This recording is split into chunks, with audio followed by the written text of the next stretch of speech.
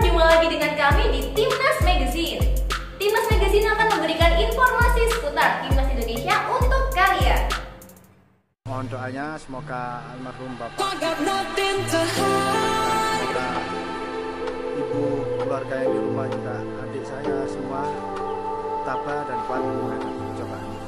Kalau saya diturunin mulai pertama, insya Allah saya akan berjuang semaksimal mungkin dan akan harus bisa mencetak gol buat Bapak di alam sana.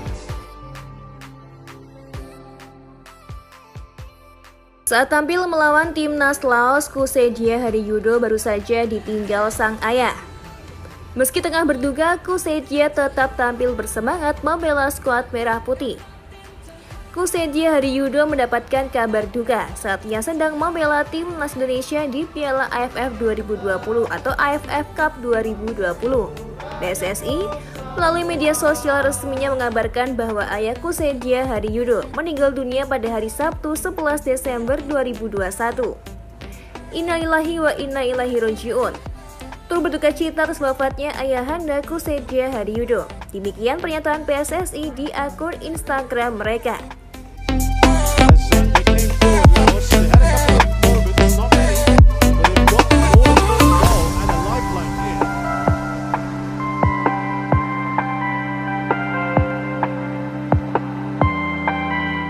Asisten pelatih timnas Indonesia Nova Arianto mengungkapkan telah berkomunikasi dengan Kusetia Hari Yudo.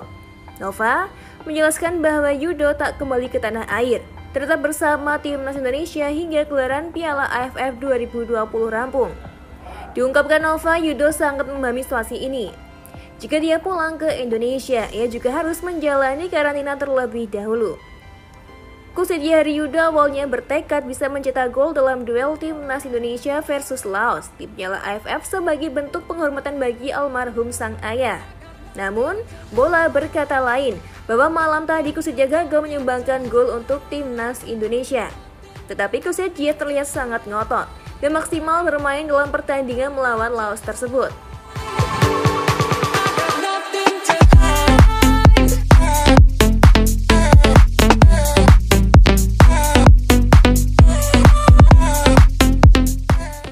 Sintayong sendiri memutuskan menurunkan Yudo sebagai pemain inti dalam laga melawan Laos. Pertandingan timnas Indonesia versus Laos sendiri berakhir dengan skor 5-1 untuk skuad Garuda. Berlaga di Bisan Stadium Singapura, timnas Indonesia meraih 3 poin berkat gol-gol dari Asnawi Mangku Alam, Irfan Jaya, Witan Sulaiman, Ezra Walian, dan Evan Dimas. Hasil ini membuat timnas Indonesia mengemas dua kemenangan di grup B Piala AFF 2021. Skuad Garuda berada di puncak klasemen dengan raihan 6 poin.